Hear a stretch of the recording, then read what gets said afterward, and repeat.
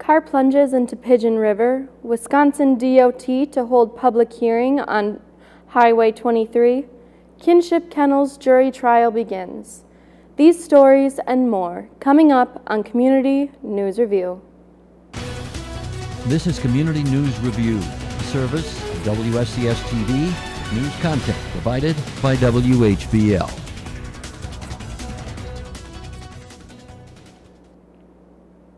Welcome to Community News Review for June 12, 2018. I'm Maddie Pfister. Flight for Life was called after a car left I-43 and crashed into the Pigeon River last night. The Sheboygan County Sheriff's Department says it happened around 9.30. When cr crews got to the scene, the passenger was out of the vehicle and the driver was pinned. Flight for Life took the 53-year-old driver to Theda Clark Hospital to be treated, and the passenger was taken to St. Nicholas Hospital.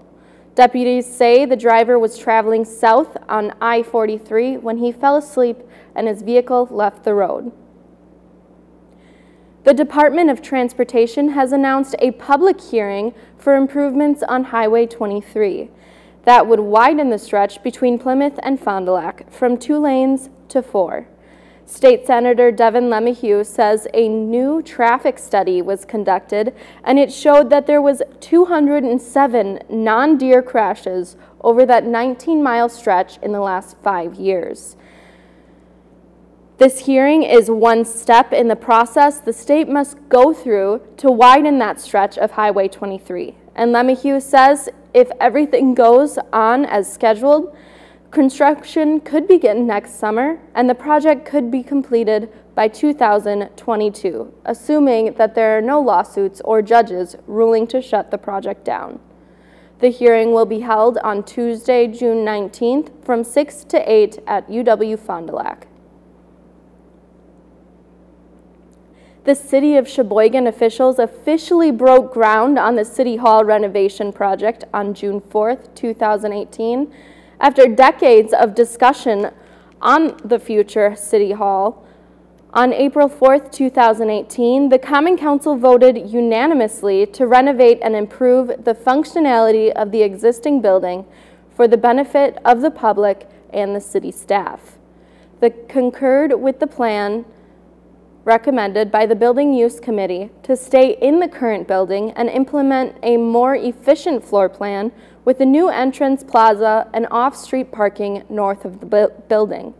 The three-story, 37,320 square foot renovation project expected to be completed the summer of 2019, and it will include a new HVAC system, new windows, a new elevator, new roof, new flooring, and a new common council chamber. The total cost budgeted for the City Hall project is $10.5 million. Public Work Director David H. Biebel was the official host of the groundbreaking ceremony, and presenters included Mayor Mike Vandersteen, City Administrator Daryl Hofland, and Matt Quasius, President of Quasius, who is the general contractor assigned to the project. City Hall officials are incredibly excited to announce the start of the reconstruction project of the City Hall, said Biebel. Several city officials were in attendance along with the city employees and citizens. Representatives from Bray Architects, Emmons Business Interiors, and Quasius Construction were present as well.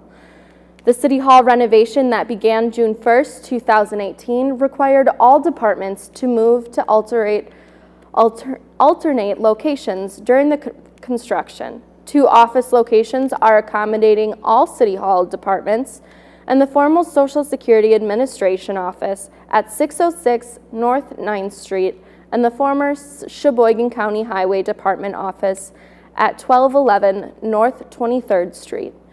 New hours of operation are 8 o'clock a.m. to 4.30 p.m. The building inspection department located at the former Social Security Administration office is open 7.30 a.m. to 5 p.m. Video of the ceremony can be seen at wscssheboygan.com. A three-day trial begins Tuesday morning for Christy Tuchel, one of three co-defendants in the Kinship Kennels trial. Tuchel is facing a number of charges stemming from an investigation that involved the seizure of 36 live dogs from the kennel in the town of Wilson last summer. While officials were at the kennels, they also found an unplugged freezer full of dead and decaying dogs. Tuchel is charged a felony count of mental harm to a child, mistreatment of animals, and misdemeanor ch charges. Sheboygan police are investigating more vehicle break-ins this weekend. An alert from the department says that these vehicle entries were to unlocked vehicles that had firearms in them. They are reminding people to keep their vehicles locked when they are parked and do not leave valuables and unsecured firearms unattended in your vehicle. This follows after two 17-year-old boys were charged for breaking into vehicles in Sheboygan last month. Jesse Duplechain and Preston Klein are facing 14 misdemeanors for the break-ins last month. Court documents say over a dozen vehicles had been broken into. One of the victims thought his Audi might have been driven by one of the teens because the car was in disarray when he got into it in the next morning. The teens admitted to taking the money and going on a spending spree. They are each facing up to six years in prison if they are found guilty.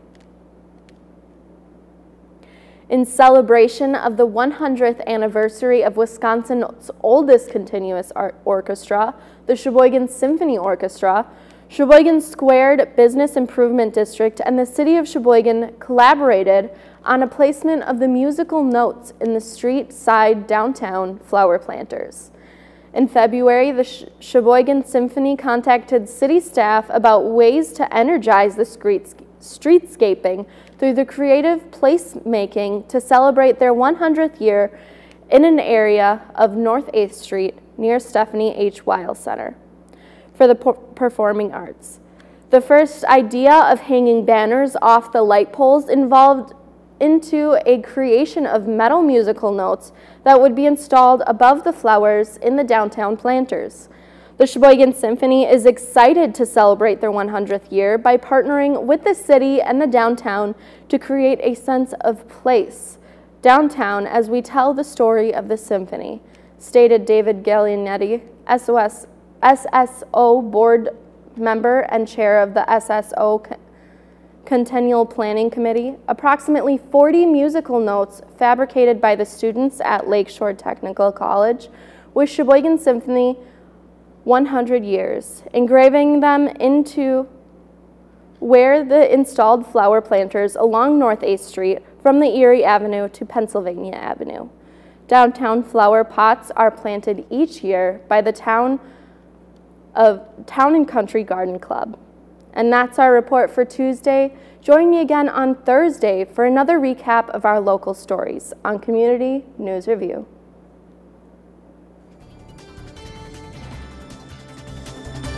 News content for this program provided by WHBL in cooperation with WSCS TV.